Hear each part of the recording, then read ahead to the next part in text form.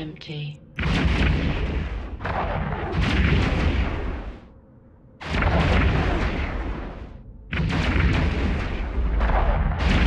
module has run out of charges.